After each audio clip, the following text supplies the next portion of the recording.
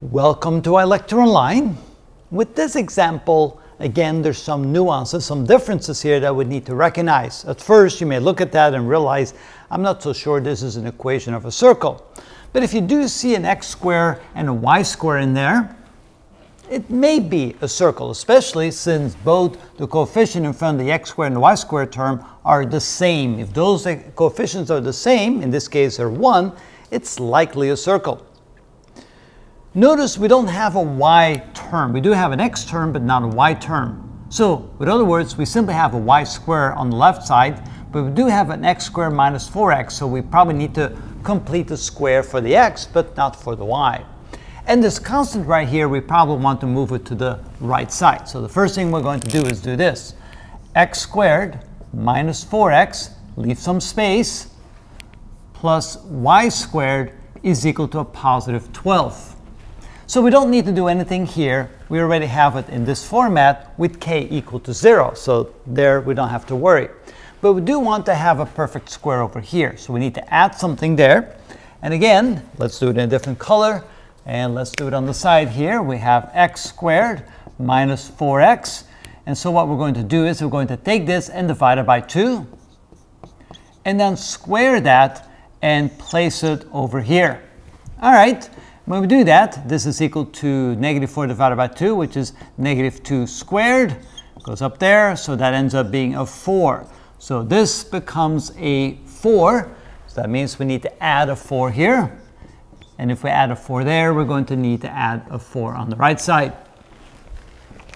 So now that we've done that, we can go ahead and write this as a binomial squared. So this can now be written as the quantity x minus 2 squared plus y squared is equal to 16, or x minus 2 squared plus y squared is equal to 4 squared. And now it's in the exact format of the general formula. In this case, of course, k will be 0 and h is equal to 2. So the next thing we do is find the center.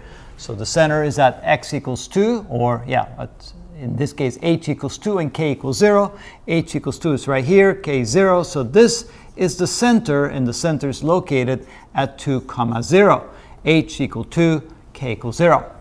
Then the next thing we do is realize that the rate is equal to 4. So we find a point 4 units to the right, 4 units to the left, 4 units up, and 4 units down. So 1, 2, 3, 4. 1, 2, 3, 4. 1, 2, 3, 4. And 1, 2, 3, 4. There we go. And then if we connect all those four points, we have ourselves a circle. There we go. Where the center, oh, there we go. We'll put the dot there so it's on the circle. So with the center at 2, 0 and with a radius equal to 4. But first, of course, before we can graph it, we need to put it into or place it into the format where it is equal to the general formula. So a little bit of uh, what you need to do here is realize first, let's get rid of any constants that we don't want on the right side. Then we realize we have a y squared already. We don't have a y to the first power term, so that's simply y squared. And here we do have an x to the first power, so we need to have a perfect square. We need to add a 4 to the left, which means we need to add a 4 to the right. And then we can transform it to the right format. And that is how it's done.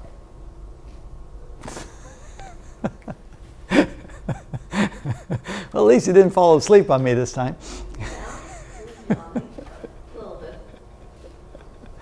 All right, now we have another interesting example coming up.